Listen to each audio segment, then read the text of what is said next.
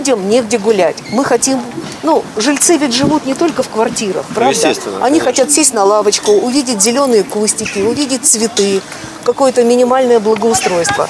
Со своими пожеланиями, касающимися благоустройства двора, к вице-президенту областной торгово-промышленной палаты Игорю Шаповалову и муниципальным депутатам обратились жильцы дома номер 39 по вокзальной улице в Одинцове. Этим летом у них во дворе положили асфальт и обустроили современную детскую площадку.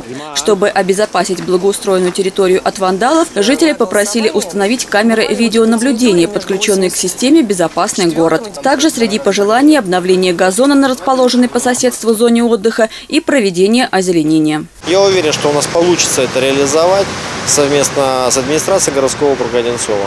Оценили единороссы и работы по укладке асфальта вдоль 80-х домов на Можайском шоссе. Проезжая часть и тротуары были отремонтированы по результатам голосования жителей на портале «Добродел». Выполнено, на мой взгляд, великолепный э, ремонт э, дороги, плюс устройство нового тротуара. Люди тоже очень благодарны.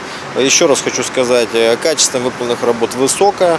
Э, И как раз тот самый лучший пример, лучшая практика э, этой, этого программы голосования. В завершении инспекции микрорайона посещение еще одной новой игровой площадки. Она расположена у 104-го дома на Можайском шоссе и обустроена по современным стандартам. Но общение с жителями выявило небольшой недочет в благоустройстве. А люди попросили навес. Но в наше время самым современным способом это является озеленение. И тоже мы сейчас подключимся к этому вопросу.